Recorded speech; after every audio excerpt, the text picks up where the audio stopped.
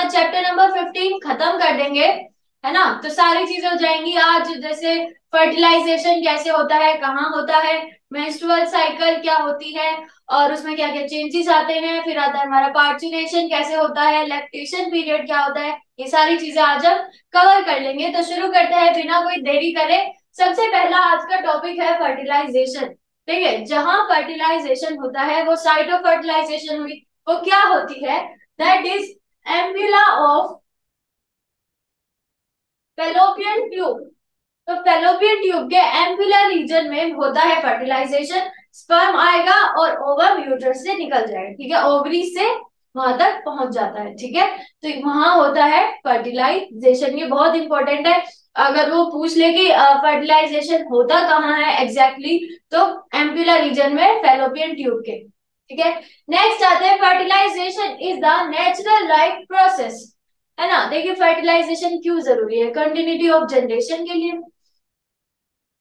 तो फर्टिलाइजेशन आपकी जनरेशन को कंटिन्यू करने के लिए ज़रूरी है है ना? चेंजेस लाने के लिए ज़रूरी है। तो फर्टिलाइजेशन एक ऐसा लाइफ प्रोसेस है which is carried out by the fusion of both male and female gametes male and female gamete के फ्यूजन के बाद जो प्रोडक्ट बनता है दैट इज़ ऑफ़ स्प्रिंग वो uh, इस प्रोसेस को कहते हैं फर्टिलाइजेशन ठीक है?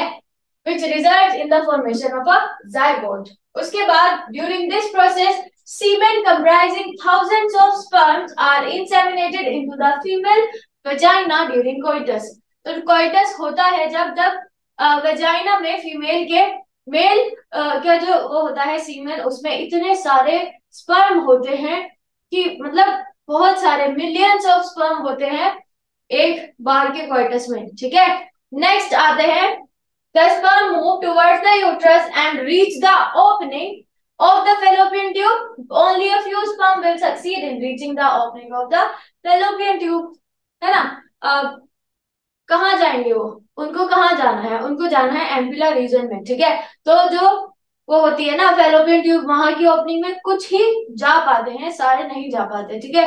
किसी की शेप अलग होती है, किसी का साइज़ अलग होता है तो कुछ भी रीजन हो, लेकिन बहुत कम जा पाते हैं, बाकी रह जाते हैं, ठीक है? Next the secondary oocyte releases from the mature graphical follicle of the ovary and enters into the fallopian tube where it is fertilize within 24 hours after which it is release from the ovary अगर ovulation के बाद अगर 24 घंटे के अंदर अंदर, है ना सीमेन आ जाए जिस स्पर्म है वो आ जाए तो हो सकता है फर्टिलाइजेशन अदरवाइज़ नहीं होगा, ठीक है? 24 आवर्स के बाद वो क्या वो डीजेनरेट होना स्टार्ट हो जाता है है ना? जो ओवा होता है, जो एग होता है, वो 24 घंटे के बाद डीजेनरेट होना स्टार्ट हो जाता है। तो 24 घंटे में अगर हो गया तो फर्टिलाइजेशन हो जाएगा अदरवाइज़ वो मेंस्ट्रुअल साइकिल हो जाती है, ठीक है? नेक्स्ट आते हैं दिस इज़ ऐसे होता है फर्टिलाइजेशन ये है ओवम है ना? ओवम के बाहर वाली लेयर कौन सी है? पेरीवेटलाइन स्पेस उसके बाद क्या है? जोना पेल्यूसीडा है ना? जोना पेल्यूसीडा और दिस इज़ कोरोना रेडिएटा ये कोरोना रेडिएटा है सबसे बाहर वाली, उसके बाद जोना पेल्यूसीडा और अंदर वाली है व्हाइट लाइन स्पेस है ना? फिर उसके बाद स्पर्म जैसे जैसे आते हैं, देखिए, जोना पेलिसीडा किसी तरह से वो कैसे ना कैसे कहा से निकल जाते कोरोना रेडिएटर से तो निकल जाते, वो तो क्रॉस कर लेते लेकिन जोना पेलिसीडा एक ऐसी लेयर है जो इनकी एंट्री को कंट्रोल करता है। है ना? कितने जाने चाहिए, कितने नहीं जाने चाहिए, कौन सा अंदर जाएगा, कौन सा नहीं जाएगा, सारी चीज़ें कंट्रोल बाय जोना पेलिसीडा। है ना? This is the fertilization how the fertilization takes place है ना? चलिए नेक्स्ट आते हैं मेंस्ट्रुअल साइकिल क्या होता है मेंस्ट्रुअल साइकिल अगर 24 घंटे तक फर्टिलाइजेशन ना हुआ तो वो यूट्रस की जो एंडोमेट्रियम लाइनिंग होती है, वो शेड होना स्टार्ट कर देती है है ना? तो जो ओवा है, वो चेंज हो जाता है कॉर्पस ल्यूटियम में, और जो एंडोमेट्रियम है वो शेड हो जाएगी in the form of blood उसी को हम मेंस्ट्रुएशन बोलते हैं, है ना? In a life cycle a women's body is vulnerable to a variety of changes तो पूरी लाइफ में चेंजेस होते रहते हैं, ठीक है? एक बॉडी में पूरी लाइफ टाइम चेंजेस होते रहते हैं। The cycle of these changes occur in the woman every month. Positively, for pregnancy is called the menstrual cycle. तो हर महीने होंगे menstrual cycle.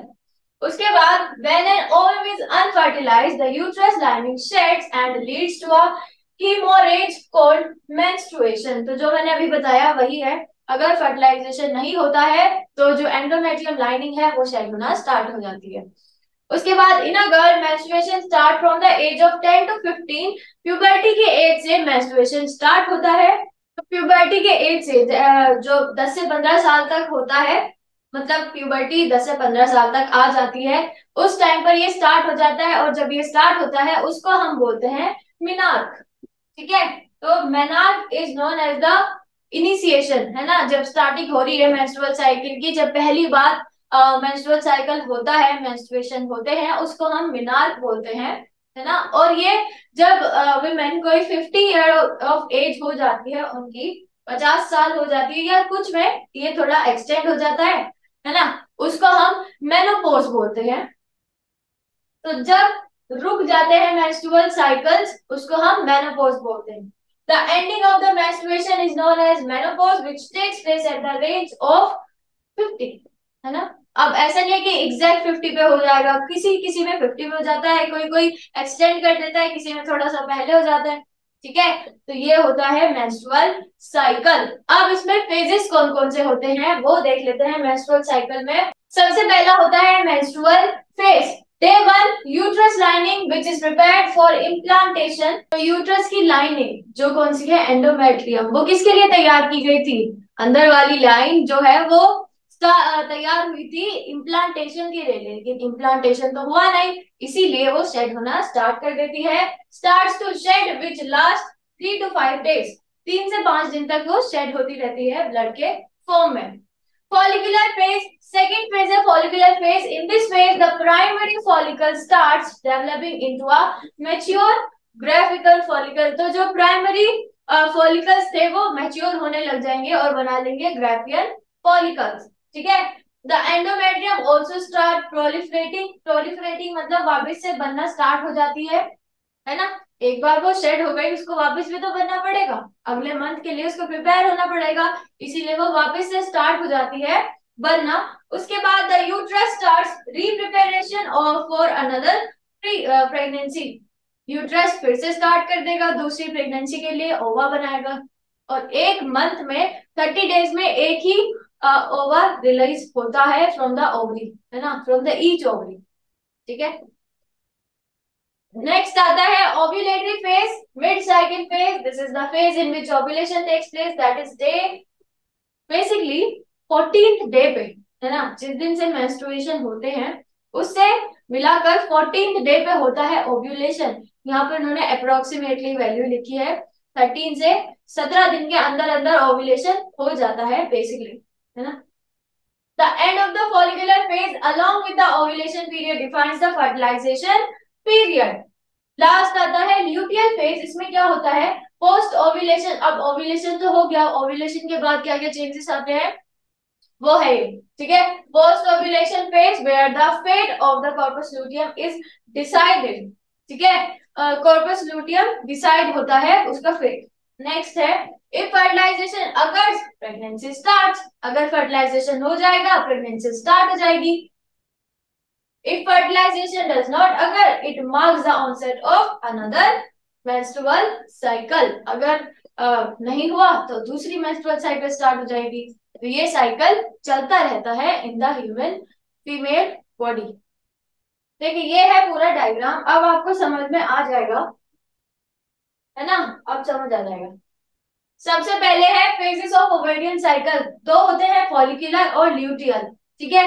फिर आते हैं गोनेडोट्रोफिन हार्मोन लेवल जो क्या सर्च जिनका सर्च क्या दिखाता है? ओव्यूलेटरी पीरियड है ना? तो देखिए, पहले एफएसएच सही था नॉर्मल था, दोनों एकदम सही जा रहे थे अचानक से ल्यूटिनाइजिंग हार्मोन पीक पे चला जाता है, एक सर्च दिखा देता है। तो क्या होगा? जब एलएच सर्च होता है दैट मींस की ओव्यूलेशन हो गया ओव्यूलेशन हो रहा है है ना?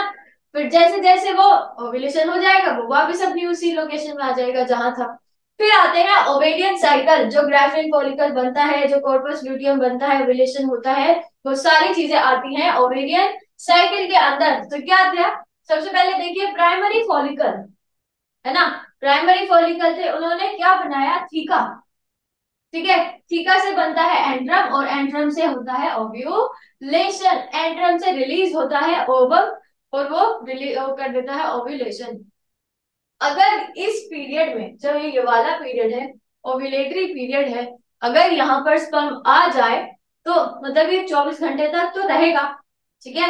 24 घंटे तक रहता है, अगर स्पर्म आ जाता है फर्टिलाइजेशन हो जाएगा अदरवाइज़ ये आगे बढ़ जाएगा, ठीक है? जो कॉर्पस लोटियम का फॉर्मेशन होगा, फिर मैच्योर होगा कॉर्पस लोटियम और लास्ट में ये बना लेता है कॉर्पस एल्बिकेंस जो डीजेनरेट हो जाता है, ठीक है? और वापिस से मेस्टुअल स्टार्ट हो जाएँगे, है ना? अगर फर्टिलाइजेशन नहीं होगा तो मेस्टुएशन होते रहेंगे, ठीक है? फिर आते हैं ओवेरियन हार्मोन लेवल तीन हार्मोन होते हैं प्रोजेस्टेरॉन एस्ट्रोजन और इनहिबिन तीन हार्मोन होंगे। देखिए, जब ओविलेशन होता है, सारे हार्मोन पीक पे होंगे एक्सेप्ट प्रोजेस्टेरॉन ठीक है? जब ओविलेशन होता है तो एस्ट्रोजन भी पीक पे होता है और इनहिबिन भी, लेकिन प्रोजेस्टेरॉन नहीं होता। प्रोजेस्टेरॉन जब कॉर्पस लुटियम के टाइम पर, तब वो पीक पर दिखाता है, तब वो सर्च दिखाता है अपने ठीक है? तो ये होता है पूरा मेस्ट्रुअल फेस मेस्ट्रुअल साइकिल ठीक है? तो ज़ीरो से वन डे में अगर मैं यहाँ पर ज़ीरो से फाइव डे यहाँ पर चल रहा होता है मेंस्ट्रुएशन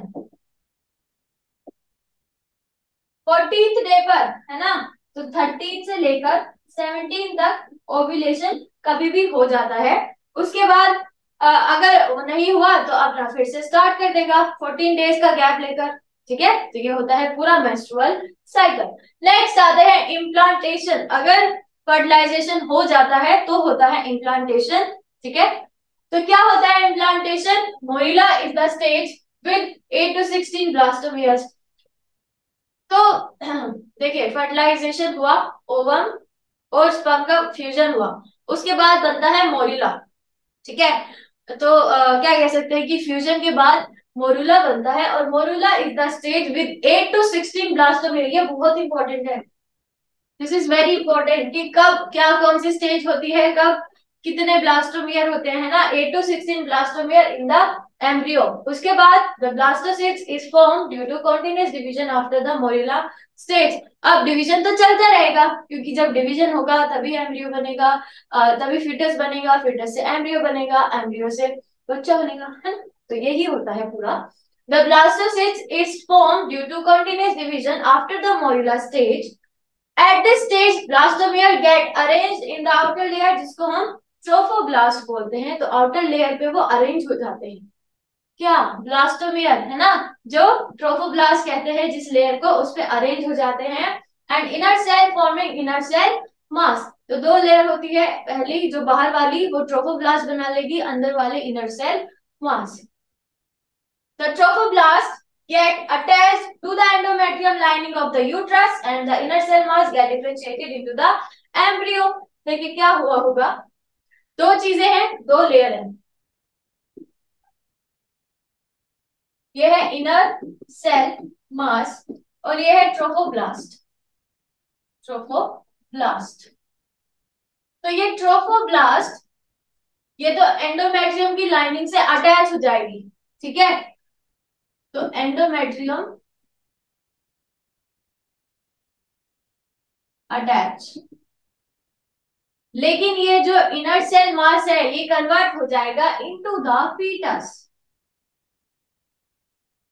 तो फीटस क्या होता है? फीटस कुछ नहीं है फीटस एक सिर्फ़ और सिर्फ़ इनर सेल मास से ही बनता है। अब देखिए इनर सेल मास उसने इतनी सारी चीज़ें बना लेता है, आगे डिवीज़न होता रहता है, चलता रहता है।